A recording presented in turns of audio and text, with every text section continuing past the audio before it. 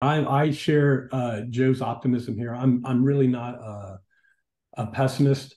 Um, ben, your, your question about sort of the short, mid, long term. The short term is pretty easy to to predict because um, the a, current AI capabilities, the current AI machine learning capabilities are kind of point solutions. It's like the early days of the internet. You're like, um, it wasn't baked into everybody's products or daily lives, but there were aspects of the internet maybe going and checking a website um, that that sort of started permeating our culture and our our personal and professional lives.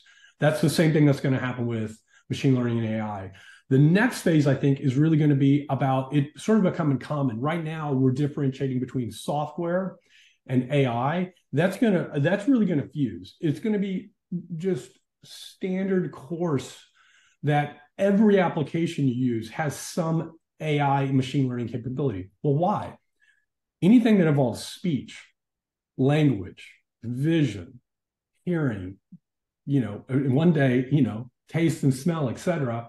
Well, of course, you would want to leverage the capabilities that AI can bring to the table on those fronts. And I'm leaving out things like reasoning and generative, et cetera. And so there'll be a blur between software and ML. It'll all just kind of be the same. The long term is much, much less easy uh, to predict.